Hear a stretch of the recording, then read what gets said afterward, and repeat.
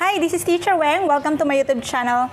In our today's video, matututunan nyo kung paano mag-round ng numbers. So, yes, ang topic natin supposed to be ay rounding numbers to the nearest hundred thousands and millions lang. Pero dahil um, kailangan nating i-review yung mga uh, nauna pa doon. So, in-include ko na rin siya dito sa ating topic. So, kung gusto nyo malaman kung paano mag-round on numbers, keep on watching.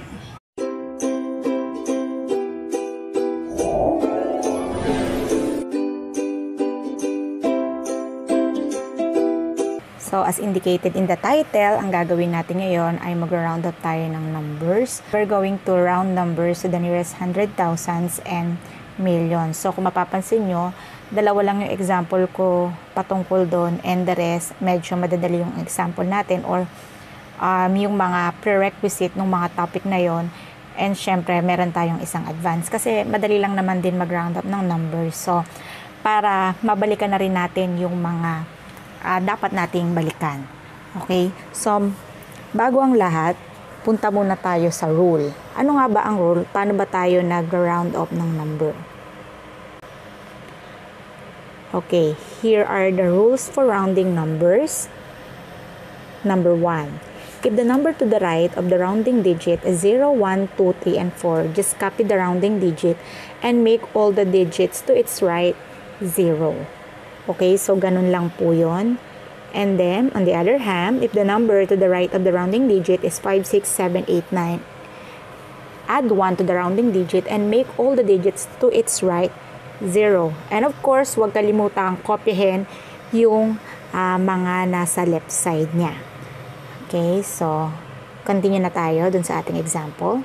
So magsimula na tayo dito sa ating pinakamadali, 750 to the nearest hundreds. Okay, so ito yung ones, tens, hundreds.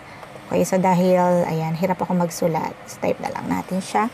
So, since this one is 5, yung sumunod na uh, digit dun sa ating round digit, digit na 7 at ang sabi dun sa rule natin na kapag siya ay 5 to 9, mag-a-add ka ng 1 doon sa rounding digit natin. So, sa halip na 7, gagawin mo yung 8. And then, yung mga numbers doon sa kanyang right, gagawin mong 0.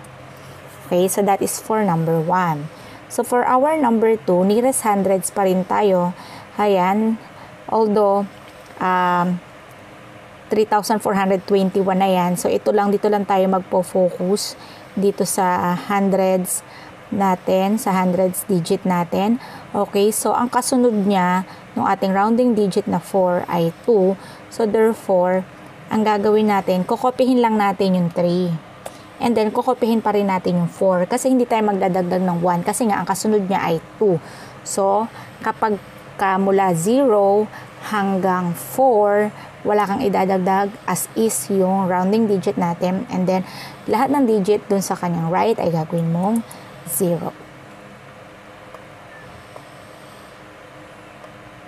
Okay, for our third example, we have this one, 7,463 to the nearest thousand. So, ang rounding digit natin dito is yung 7 kasi siya yung thousands, okay? So, ngayon, yung sumunod na digit sa kanya is 4. Therefore, hindi ka magdadagdag ng 1 dun sa 7. Just copy 7 and, okay, itong mga numbers na to, gawin mo lahat 0 for our example number 4. Okay, let's proceed. Ayan. 5 million 890,467 to the nearest 100,000. So, ang ating 100,000 dito ay nasaan? Ito. Okay, yan ang ating 100,000.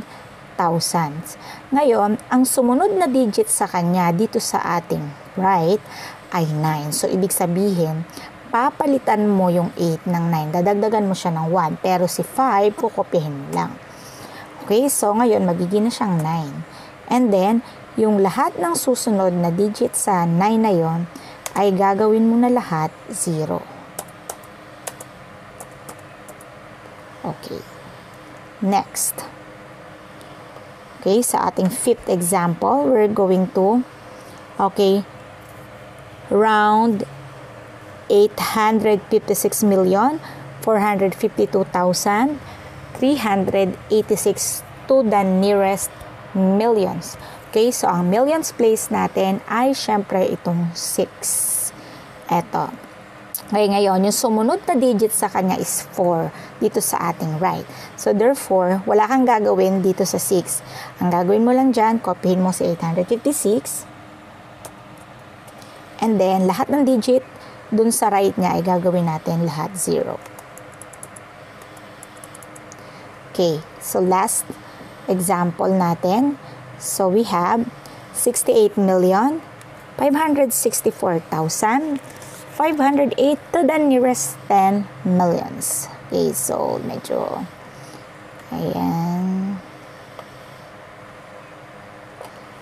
Okay, so dito naman tayo, no? So, ang 10 millions natin is yung 6. And then, kasi ito yung million. So, 10 millions. So, yung 6.